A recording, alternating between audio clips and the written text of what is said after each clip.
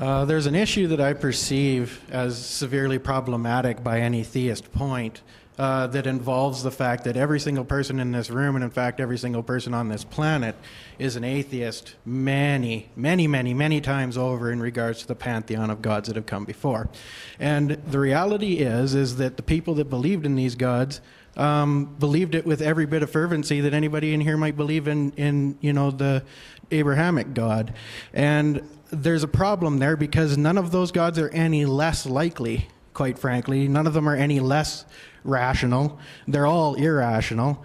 The fact of the matter is, the possibility of Zeus existing is no less likely than the possibility of Yahweh.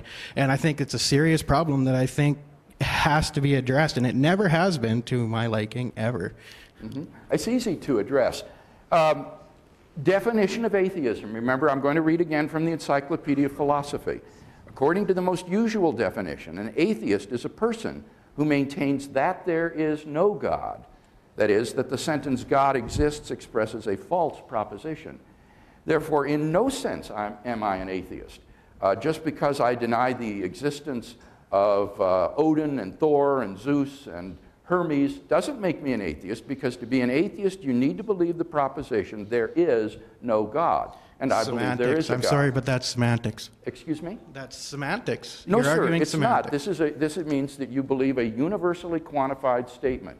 There is no such being as God. And, and uh, I don't believe that because I do believe that there is a God. So, you use a word other than atheist, it still comes to the same question. thing.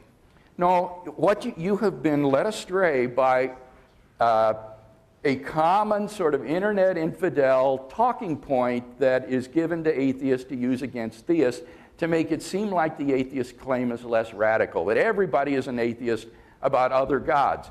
And that's simply not true because to be an atheist, you have to believe there is no God at all. And I don't believe that, so in no sense am I an atheist. Now, you've simply asserted that uh, belief in Odin and Thor and Zeus and so forth is no more rational or irrational than belief in uh, classical theism.